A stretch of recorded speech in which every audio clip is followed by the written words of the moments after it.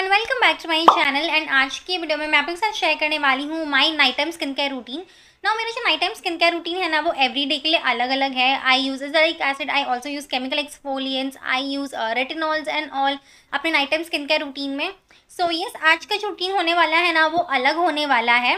सिर्फ़ एक ही इंग्रेडिएंट अलग होता है बाकी सारे के सारे जो प्रोडक्ट्स होते हैं वो सेम होते हैं। सो ये अगर आप इस वीडियो में इंटरेस्टेड हो then please keep on watching all right so सबसे पहले तो है ना, मैं अपना मेकअप रिमूव कर लेती हूँ एंड उससे भी पहले I am just gonna tie my hair ताकि स्किन केयर रूटीन करते वक्त है ना हेयर हमें बीच में ना आए।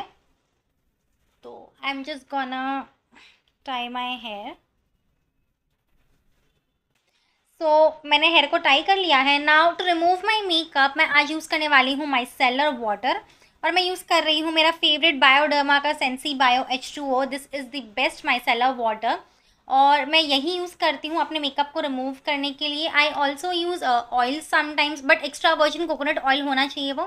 So extra virgin coconut oil या फिर आप आमंड ऑयल या फिर आप ऑलिव ऑयल भी यूज़ कर सकते हो to remove your makeup and you can also use some cleansing balms as well तो आज जो मैंने मेकअप किया है ना, वो ज़्यादा हैवी नहीं किया है, बहुत ज़्यादा लाइट मेकअप किया है तो इसलिए मैं सिर्फ़ माइसेला वाटर यूज़ कर रही हूँ। आपको हमेशा डबल क्लेंस मेथड यूज़ करना चाहिए।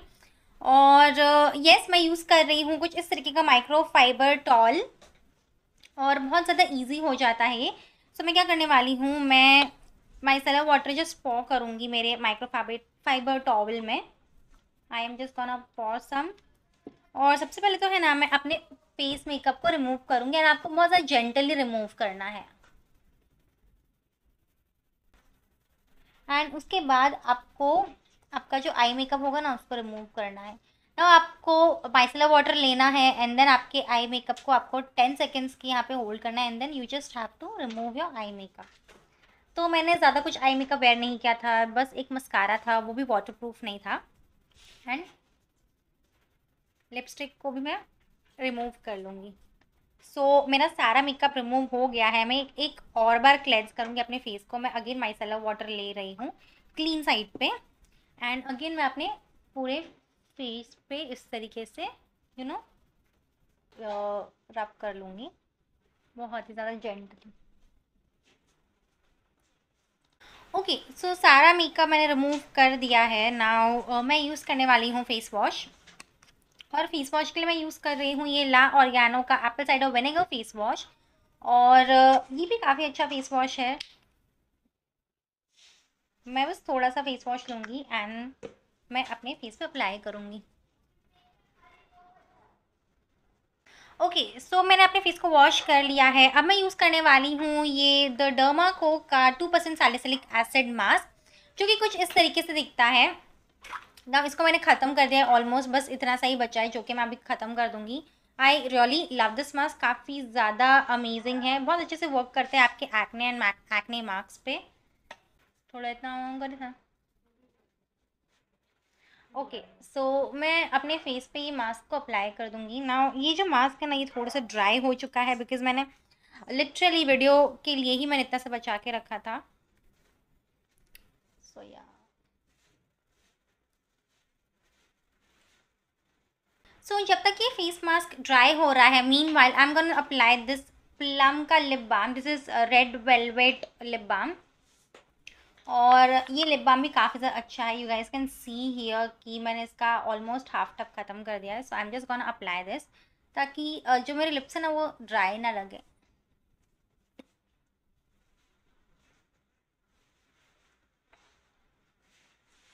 या सो मैंने लिप बाम भी अप्लाई कर लिया है। अब मैं वेट करूँगी टेन मिनट्स तक एंड टेन मिनट्स के बाद अपने फेस को वॉश करके आपसे मिलती हूँ।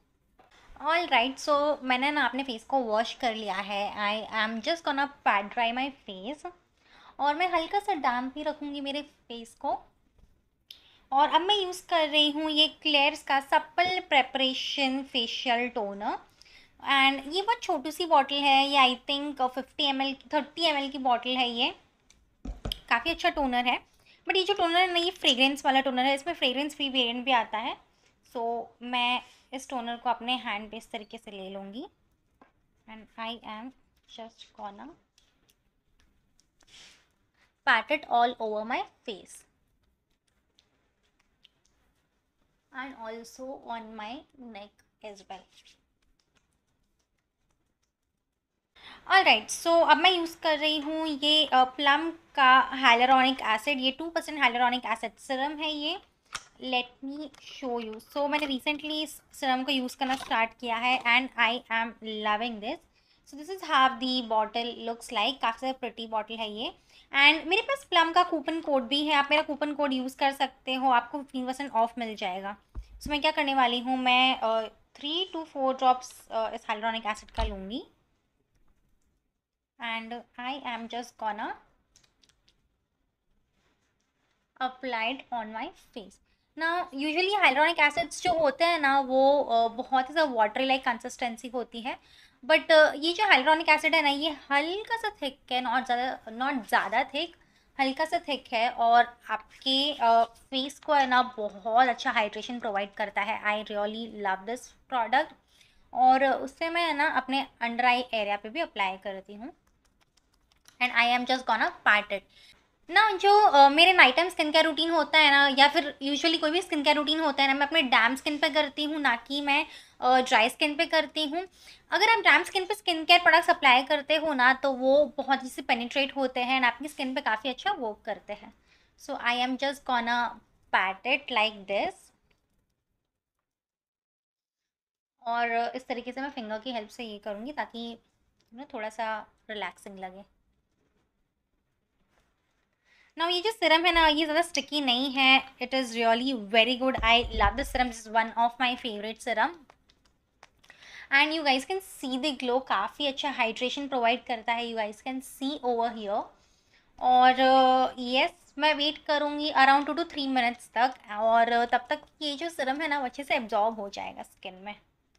और राइट सो जब तक स्किन में ये सिरम एब्जॉर्ब होता है मैं यूज़ करने वाली हूँ ये ली रिचुअल का अंडर आई क्रीम जो कि कुछ इस तरीके से दिखता है। इसमें रोज़ेप भी है और रोज़ेप ऑयल है सो मैं थोड़ा सा अमाउंट लूँगी अपने फिंगर पे और मैं इस तरीके से फॉर्म कर रही and I am just apply it under my eyes and also on my eyelid as well so under eye area में आपको हमेशा यू नो आई क्रीम वगैरह यूज़ कर करते रहना चाहिए ताकि जो फाइनेंस रिंकल्स होंगे ना वो एक्चुअली डीले हो जाएँगे एंड ऑल्सो आपकी जो अंडर आई एरिया जो है ना वो काफ़ी ज़्यादा हाइड्रेटेड रहेगी। ऑल्सो जो आपके डार्क सर्कल्स होंगे ना वो ज़्यादा प्रोमिनेंट नहीं दिखेंगे और uh, मैं एक्चुअली इस सिरम से इस तरीके से मसाज करती हूँ for about thirty to forty seconds ताकि ये जो सिरम है ना ये एब्जॉर्ब हो जाए।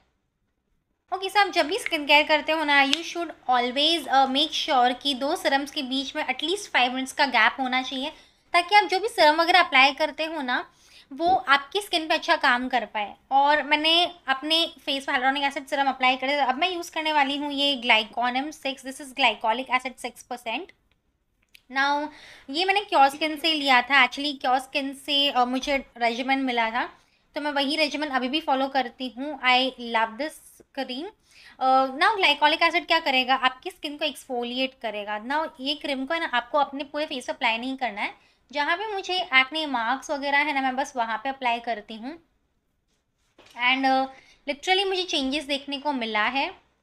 I love this product as well so आज मेरा जो डे है ना ग्लाइकोलिक एसिड अप्लाई करने वाला डे है। I also use azelaic acid as well azelaic acid and retinol so मैं क्या करती हूँ, मैं एक दिन ग्लाइकोलिक एसिड अप्लाई करती हूँ, एक दिन एजेलिक एसिड अप्लाई करती हूँ एंड देन एक दिन मैं रेटिनॉल अप्लाई करती हूँ। मैं हफ़्ते में एक बार रेटिनॉल ज़रूर अप्लाई करती हूँ।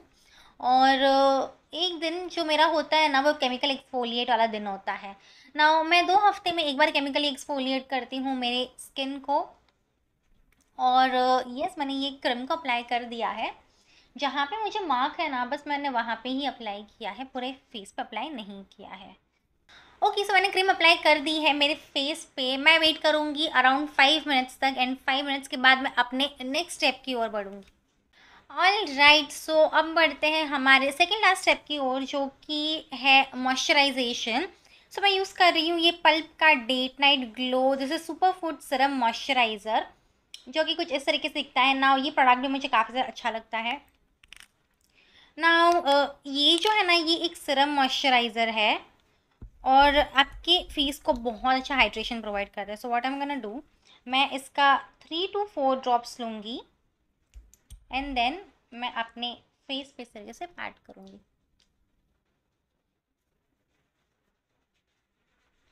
अप्लाई करूँगी and then I am just gonna pat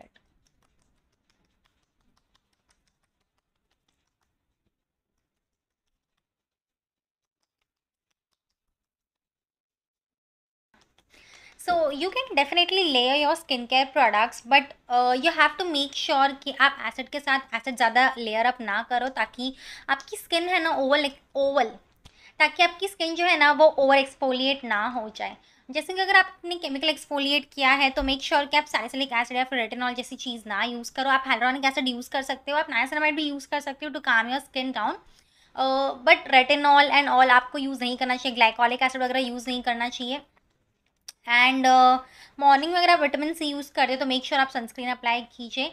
ना uh, मैं सोच रही हूँ कि मैं एक एसिड पर वीडियोस बनाऊँ। आपको कौन से एसिड किसके साथ पैरअप करना चाहिए? सो so, मैं वो रिसर्च करके मैं डेफिनेटली आप लोगों के साथ वीडियोस शेयर करूँगी।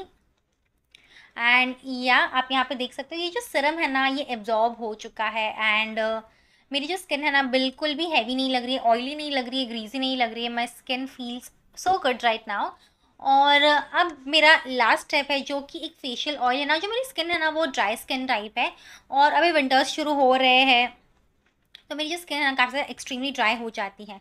सो so, मैं यूज़ कर रही हूँ ये प्रेशेज एंड नेचर्स का cold press rosehip seed oil so ये रोज़अप ऑयल है। आप मिनिमलिस्ट का भी ऑयल यूज़ कर सकते हो। मुझे इसके बाद मिनिमलिस्ट का rosehip oil and squalane use करना है। सो so, मैं थ्री टू फोर ड्रॉप्स अपने हैंड पे लूँगी। और मैं इस तरीके से वॉर्म करूँगी। और मैं अपने फेस पे बस इस तरीके से प्रेस करूँगी gently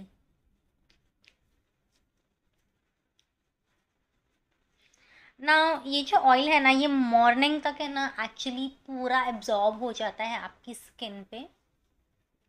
okay okay. So so, मैं अपने नेक पर अप्लाई करूँगी।